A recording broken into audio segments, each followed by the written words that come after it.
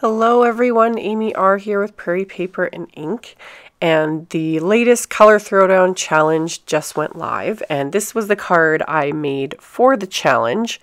So I started with the Mama Elephant Organic Blooms stamp set. I showed this in a haul not too long ago. The stamp set's only been out for not very long and I bought it the second I saw it. It was just so, so pretty.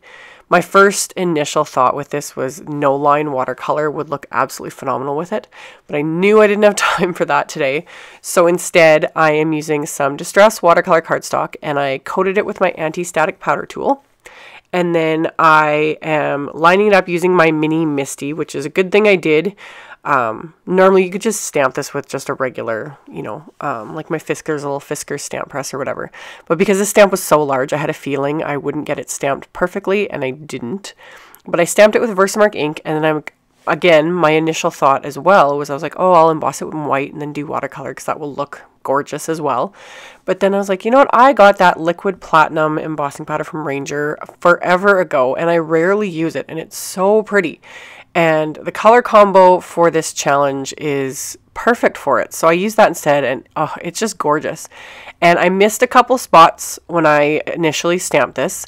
So I lined it back up in my MISTI because I didn't remove the stamp and I just inked up those little areas that I had missed again with my Versamark ink and then recoated them with the embossing powder and then reheated um, again to melt that embossing powder and it's good. So I also stamped, there's a little like cluster of leaves stamp that comes with this and a little bud. And I just stamped those on the top right there. It just seemed a little empty. So inked those up and stamped them. I had gotten the way there for a second. And embossed them as well. And I've been showing it a lot lately, like heat embossing and watercoloring, just because it just makes your life easier. Having the raised edges, you can go so much faster. Honestly, this entire image I did in maybe 10 minutes, a little bit longer than that. Um, yeah, I grabbed several different distress colors to get the colors I wanted, mostly the darker pink shade for the challenge. So I ended up mixing um, some picked raspberry, a little bit of aged mahogany, and then Victorian velvet. And I was just squishing my little ink pads onto the stamp packaging, and it just that works as my palette. So I mixed up those three colors to create my darker shade of pink, and then I'm just picking them up with my water brush. And I super sped this up because otherwise the video would just be too long to even for me to even upload. But I just laid down the color. Like pretty much just scribbled it on. I didn't do anything fancy.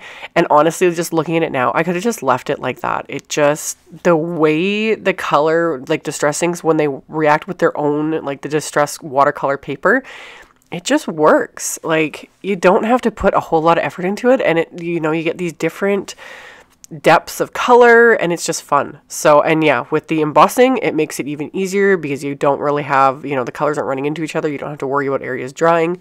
Um, I wasn't super perfect with it. I did go over the lines here and there, but I just went with it. It worked. And as those areas dried, I did go back over it. This is where I went over a second time just to kind of deepen it up a bit. I didn't need to do this, but I wanted to, and it still worked. So I watercolored in all the areas and then I was using that, I used the pumice stone on some of it and then um, shabby shutters for my leaves and that. And then I um, squeezed my little water brush onto the pumice stone to water it down a fair bit and just quickly kind of went around the edges just to give it that a tiny bit of shading but not much.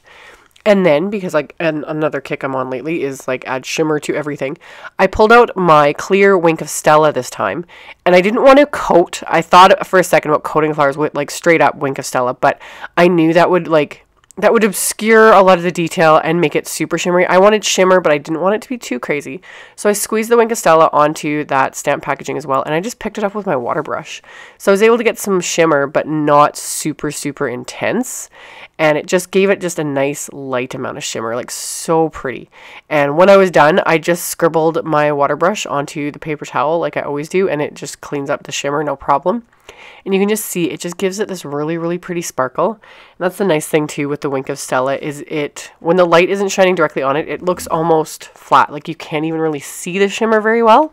And then when the light hits it, you just get this like pop of sparkle. So once I was happy with that, I decided to trim off the right hand side. I trimmed off about half an inch off the right hand side. And then I grabbed this striped pattern paper. This is from the My Favorite Things Painted Prints Smitten pack. and the gray pattern that went really well with this challenge. And I just, I had it in my head, even when I started this card, I was like, I need to add a gray striped pattern paper. Do I have a gray striped pattern paper? Oh yeah, I've got multiples. so I trimmed a piece of that down and then I took that piece I trimmed off the watercolor cardstock and trimmed just a tiny little strip of that and pulled out the stamp packaging yet again, just so I had, um, a clean surface to do this on so that I don't get Versamark all over my craft mat and forget about it. And then I just coated that with my Versamark ink so it's all completely covered and sticky and then used that liquid platinum embossing powder again and coated it with that heated it with my heat tool, being careful not to, you know, burn my fingers in the process. And then once I got the one side heated, I flipped it around and coated the other side. So then I've got this perfect little metallic strip that obviously matches the embossing I did on the main image. I just thought it would kind of finish it off a little bit from, um, it just looked too plain, the watercolor panel going straight to the straight pattern paper on my card front, in my head anyway. so once I was done all that, I funneled the embossing powder back into the container. I made the mistake not too long ago of not doing that and ended up knocking over my coffee filter and I had embossing powder everywhere. So funneled it back in, put the lid back on, and then my card base is heavyweight white cardstock cut to four and a quarter by 11 and I scored it at five and a half with my Teflon bone folder. So it is a standard A2 size card, four and a quarter by five and a half inches. And I opened it up and put it back in my mini MISTI here and then relined up this main image so it was more centered on the inside of the card and I just inked it up with the same pumice stone ink, um, distress ink. And uh, like I've said in previous videos, I don't worry so much about getting a perfect stamping. I just use the Mini MISTI because I was already using it. It was right there. But when I'm stamping the inside of the cards, I don't need it to be perfect, like perfectly inked up, perfectly stamped because it's on the inside and, you know, it's going to get written over. Um, it's more it's decoration. So i stamped it and then um, i grabbed one of the sentiments from the organic bloom stamp set and lined that up with my MISTI and i inked it up with hero arts black ink and it stamped perfectly right off the bat so that was really nice. And then i just grabbed a scrap of some smooth white cardstock and grabbed another sentiment from the set and did the same thing inked it up and stamped that onto the cardstock and I'm going to pull that out and then I'm just going to trim it down with scissors. Super, super simple. Um, decided to leave a little bit of a border. I kind of thought about like trimming it straight up so it looked more like a label. But instead I cut it with that little bit of border just to give it um, that little extra something. So to adhere my card, I decided to adhere everything flat to my card, no foam tape this time. So I adhered the pattern paper first, flat to the card, and then a tiny little bit hung over. So I just flipped it over and trimmed that off with my scissors. And then I used a generous amount of adhesive on the watercolor piece because it warped just a little bit with the heat embossing and the watercoloring. So to make sure it adhered flat to the card, I um, applied quite a bit of my ATG adhesive and then pressed that down really, really well. And another reason I decided to put this all flat was because I'm adding this little tiny strip here. And if I'd put everything on foam tape, it would have made it more difficult to adhere this. So once I had everything adhered, I adhered the little strip. I just used my um, multi-medium matte adhesive and ran a thin line of that right down this little tiny strip of paper and then press that into place and then let that sit and dry. And then the sentiment, I decided to pop that up with just a little bit of foam tape. So I adhered two little tiny pieces of foam tape to that, peeled off the backing, and adhered that into place. And as always, you guys know me and my obsession with sequins. I had to add a few.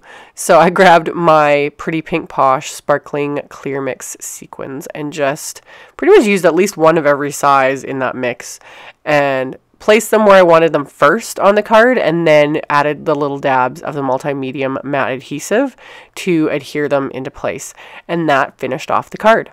So if you are interested in any of the supplies used, I will have them linked directly below the video in the description box below. There will be a link to my blog post with all of these pictures posted, as well as picture links to the supplies. All of that is in the description box below the video, so check it out if you're interested. Thank you all so much for watching, and I hope to see you all very soon in another video. Bye!